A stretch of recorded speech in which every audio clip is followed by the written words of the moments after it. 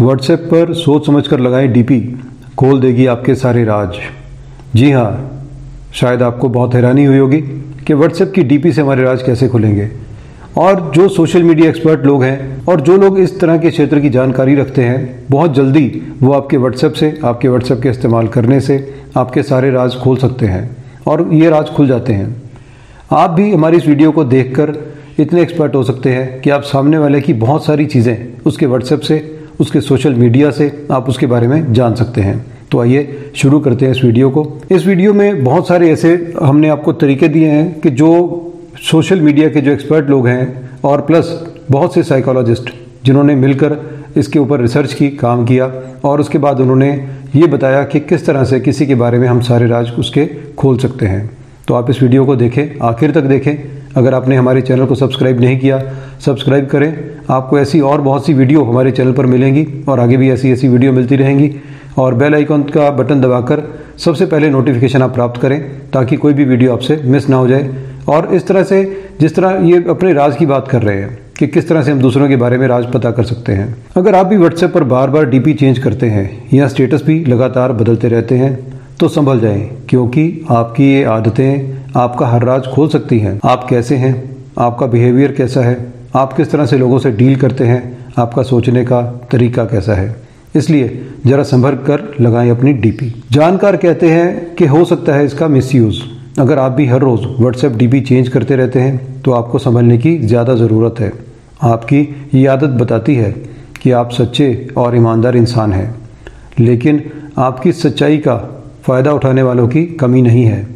अक्सर ऐसे मामले सामने आ रहे हैं कि सोशल मीडिया से फ़ोटो चुराकर उनका मिसयूज़ किया जा रहा है।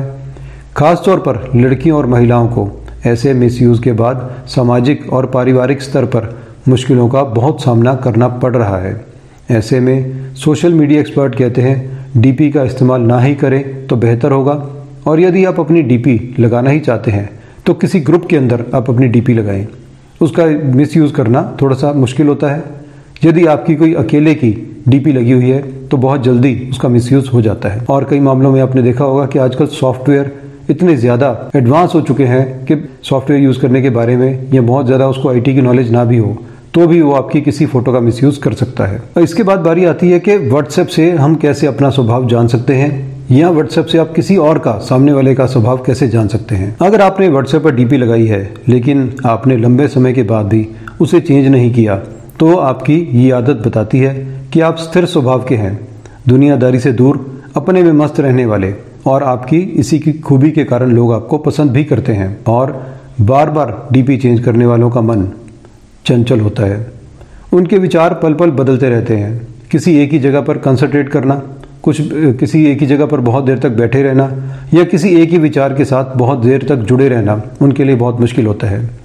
ये किसी एक चीज़ पर कंसंट्रेट नहीं कर पाते तो कई बार इसके कारण इन्हें जीवन में सफलता मिलते मिलते रह जाती है। और इसके बाद बारी आती है छोटे स्टेटस अगर जो लोग बहुत छोटे छोटे अपने स्टेटस रखते हैं, ये लोग बहुत ज़्यादा सेटिस्फाइड टाइप के लोग होते हैं, संतोषी प्रवृत्ति के लोग होते हैं। जो मिल जाए उसी में खुश रहने वाले। इन लोगों को परिवार से भरपूर प्यार भी मिलता है, क्योंकि इनकी बहुत ज़्यादा उम्मीदें नहीं होती, बहुत ज़्यादा इनकी डिमांड नहीं होती। संबंध भी बेहतर रहते हैं। ये तारीफ़ें भी बटोरते हैं, लेकिन फिर भी ऐसे लोगों की महत्वाकांक्षाएँ कम होने से जीवन में बहुत ज़्यादा ये सफलता प्राप्त नहीं कर पाते। इनका आर्थिक और सामाजिक जीवन बहुत सामान्य सा रहता है। और जो लोग पल पल में अपना स्टेटस बदलते रहते हैं, वे लोग शौकीन प्रवृत्ति के होते हैं, ज़िंदगी को ज़िंदा दिली से जीते हैं, हर बात को लेकर बेहतर, बहुत ज़्यादा पॉजिटिव इन्हें कोई दुख दुखी नहीं करता। संघर्षों के बाद भी, संघर्षों में रहकर भी वे ज़िंदगी के सबसे हसीन पल जीते हैं। इन लोगों की ऐसी खासियत होती है। और इसके बाद बारी आती है कि जो लोग लगातार अपनी डीपी अपने व्हाट्सअप स्टेटस चेंज कर रहे हैं, या हर पल, हर पूरे दिन के हिसाब से, जैसे दिन का माहौल होता है, वैसे वैसे अपने स्टेटस ये लोग लगाते रहते हैं। और एक बार में आपने देखा होगा कि कुछ लोग बहुत बहुत सारे स्टेटस लगाते हैं, और जिसके अंदर उनकी अपनी निजी, पारिवारिक चीज़ों के स्टेटस ज़्यादा रहते हैं, कि उन्होंने कब क्या क्या किया, परिवार के साथ वो कैसे रहे, परिवार के साथ उन्होंने क्या खाया, कहाँ घूमने गए, आपने देखा होगा। कि बहुत लोग अपने पूरा व्हाट्सएप के स्टेटस को भर देते हैं ऐसी ऐसी फ़ोटो के साथ। और कई बार तो ऐसा होता है कि बहुत पुरानी यादें, साल पुरानी, दो साल पुरानी, पाँच साल पुरानी, दस साल पुरानी यादें, उनकी photo black and white photo को खींच खींच के लगाना या अपनी और चीज़ों को याद करते रहना, लगाते रहना, ऐसे लोग केवल एक दिखावे के अंदर बहुत ज़्यादा यकीन करते हैं। इनको अपने ऊपर कोई, किसी तरह का कोई कॉन्फिडेंस नहीं होता। केवल ये दिखावे में जीते हैं। इनको लगता है कि जितना हम लोगों को दिखाएँगे, उतनी हमारी समाज में इज़्ज़त होगी। लेकिन शायद कहीं ये भूल जाते हैं कि इस तरह करने से केवल ये हँसी के पात्र बनते हैं। इनका, इनके अपने ही लोगों द्वारा पीठ पीछे मज़ाक उड़ाया जाता है। और फिर, अगर आप शेयरिंग अपनी, आपकी जो शेयरिंग है, कैसी होती है, ये बताता है कि आप आप किस तरह के लोग हैं, आपका मन कैसा है। और जो लोग लगातार मैसेज शेयर करते रहते हैं, वे पारिवारिक और सामाजिक स्तर पर लगभग सभी से जुड़े रहते हैं। मुश्किलों में साथ देने वाले लोग, इनको कहा जाता है। इन्हें ना धन की कमी की फ़िक्र होती है, ना ही किसी बात का इन्हें दुख होता है। इनके पास पैसा नहीं भी होगा, फिर भी अगर आप इनके पास मदद मांगने जाएँगे, ये किसी भी तरह से, कैसे भी आपकी मदद ज़रूर करेंगे। और इसके बाद क्या होता है कि इनके संपर्क में रहने वाले लोग इनसे इनको बहुत पसंद भी करते हैं और इनसे प्रेरित होते हैं, इनसे प्रेरणा लेते हैं कि किस तरह से ये लोग अपना सब कुछ दाव पे लगा के अगर कोई मदद मांगने आता है तो सच्चे दिल से उसकी ये सहायता करते हैं। क्योंकि शेयरिंग की इनको आदत है जो लोग व्हाट्सएप पे अपने मैसेज शेयर कर रहे हैं, लोगों के मैसेज के रिप्लाई कर रहे हैं, लोगों से जुड़े रहने का इसका मतलब कि इनके अंदर एक जज्बा होता है। और इसके बाद कुछ लोग मैसेज को लाइक नहीं करते। यानी कि मैसेज आने पर उसका कोई रिप्लाई नहीं करते। मैसेज जैसे उन्होंने देखा ही नहीं, इस तरह से बिहेव करते हैं। और कोई लाइक नहीं, कोई रिप्लाई नहीं, उनकी आदत ये बताती है कि आप सामने वाले को इग्नोर कर रहे हैं। या तो आप बेहद घमंडी हैं, या फिर आपको उसका मैसेज करना पसंद नहीं है। हो सकता है कि आप इरिटेटिव पर्सनैलिटी के हों हो सकता है कि आपका मन ही ना इस चीज़ों में करता हो। इसलिए ध्यान रखें कि आपको मैसेज करने वाला आपकी इस बात से दुखी हो सकता है और किसी का दिल दुखाना अच्छी बात नहीं है।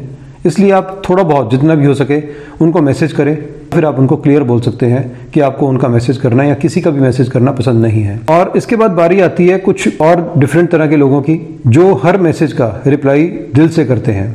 ये लोग थोड़े से एक्सपर्ट ये बोलते हैं कि ये लोग थोड़े से रसिक टाइप के होते हैं। यानी कि ये लोग थोड़ा सा ज़िंदगी को बहुत अच्छे से, अच्छे तरीके से लेने वाले होते हैं और हर चीज़ के अंदर एक फ्लर्ट करने की इनकी आदत भी होती है। ये अपने से जुड़े लोगों की भावनाओं का आदर करने वाले होते हैं। इनकी वजह से किसी को ठेस पहुँचे, ये इनको पसंद नहीं आता। इसलिए ये सोच समझकर बोलने वाली प्रवृत्ति के लोग होते हैं। ऐसे लोगों का सामाजिक और पारिवारिक स्तर बेहद शानदार रहता है। ये सही समय पर सही निर्णय लेने में भी सक्षम होते हैं। ये बहुत ज़्यादा नॉलेजेबल भी होते हैं, ज्ञानी होते हैं। यही कारण है कि इन्हें सफलता बहुत जल्दी मिलती है। और इधर से उधर शेयरिंग करने वाले राजनीतिक स्वभाव के होते हैं। जी हाँ अगर आप किसी का मैसेज आपने उठाया, दूसरी जगह शेयर कर दिया, और राजनीतिक मीन्स के ये जो हमारी भारत की राजनीति, देश की राजनीति, वो नहीं। इनकी सोच इस तरह की होती है कि चीज़ों को कैसे मैनिपुलेट किया जाए, चीज़ों को कैसे मैनेज किया जाए, ये इन लोगों को बहुत अच्छे से आता है। और आपने देखा होगा कि अक्सर हमारे घर में कभी त्यौहार के ऊपर कुछ गिफ्ट आते हैं। और हमारे घर के कुछ लोग इतने ज़्यादा तेज़ होते हैं कि वो फटाफट पैकिंग खोले बिना केवल स्लिप चेंज करके उनको आगे से आगे देने में भी विश्वास करते हैं, एक्सपर्ट होते हैं। वो फटाफट से इसका उधर इसका उधर इसका उधर करते हैं, जबकि सारे लोगों को ये चीज़ नहीं आती। तो इसी तरह से मैसेज करने वाले लोग भी, शेयरिंग करने वाले लोग भी, राजनीतिक लोग होते हैं मीन्स के वो लोग चीज़ों को मैनिपुलेट करना अच्छे से जानते हैं। और वहीं ये ऑफ़िस में काम करने वाले जो लोग हैं, ये बॉस के चमचे भी कई बार कहलाए जाते हैं, क्योंकि ये उसके लिए भी इधर उधर से जानकारी इकट्ठी करके उसका सोर्स बनकर बॉस तक अपने पहुंचाते हैं।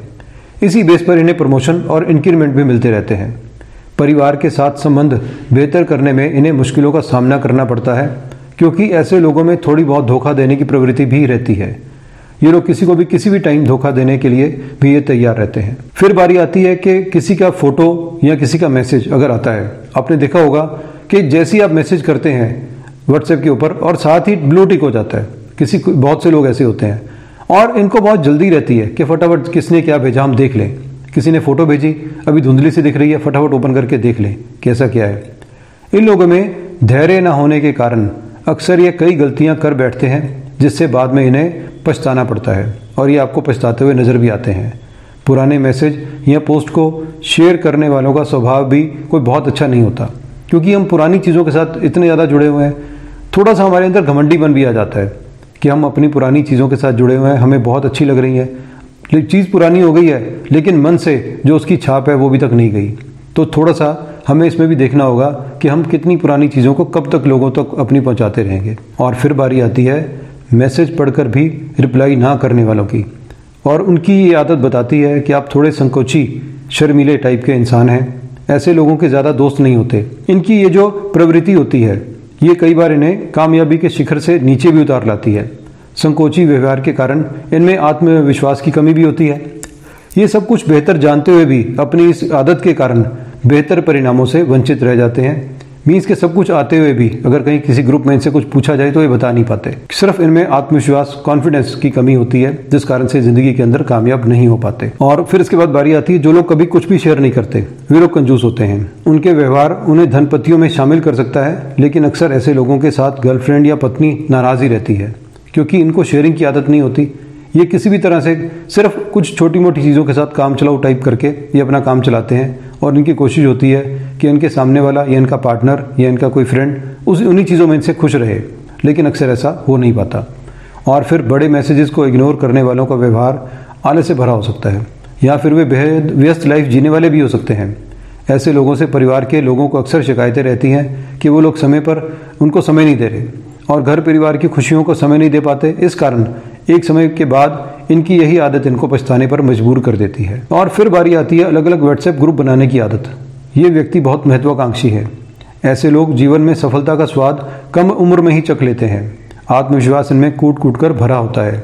हालाँकि उम्मीदों की अति के कारण इन्हें नुकसान का सामना करना पड़ सकता है। और अगर आप ज़रूरत के हिसाब से व्हाट्सएप या सोशल मीडिया का यूज़ करते हैं तो आपका एक नाम होगा। आपका लोगों के अंदर एक अच्छी पहचान बनेगी और आप जानते हैं कि आपकी और आपके परिवार की खुशियाँ किसमें हैं। और आपको पता है कि आपको भविष्य में क्या करना है। प्लानिंग से काम करना आपकी आदत है, इसलिए आप एक कामयाब शख्सियत हैं, दूसरों के लिए प्रेरणा भी है।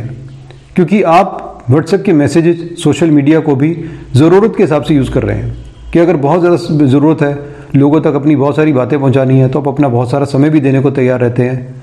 लेकिन जब आपको लगता है कि अब इसकी ज़रूरत नहीं है तो हम सोशल मीडिया पर अपना ज़्यादा समय भी नहीं देते। तो ये कुछ बातें ऐसी थी कि जिनको आप अगर दोबारा से फिर से एक बार सारा समझेंगे तो आप किसी की भी आदत के बारे में आप जान पाएँगे। और सोशल मीडिया आजकल किसी को भी ओपन करने में, किसी के बारे में भी कुछ भी बताने में बहुत ज़्यादा सहायक है।